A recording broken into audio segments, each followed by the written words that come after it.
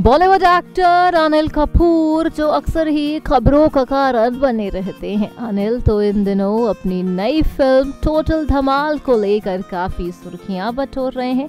ऐसे में हाल ही में अनिल को देखा गया कपिल शर्मा के शो पे जहाँ पर अनिल और माधुरी दोनों को देखा गया। यहाँ पर माधुरी ने अनिल की सारी पोल खोल दी। जी हाँ आपको बता दें कि ये दोनों 18 फ़िल्में साथ कर चुके हैं। माधुरी ने कहा कि भाई अनिल जी कभी भी अपनी थाली से खाना नहीं खाते। वो हमेशा ही दूसरों की थाली से खाना पसंद करते हैं।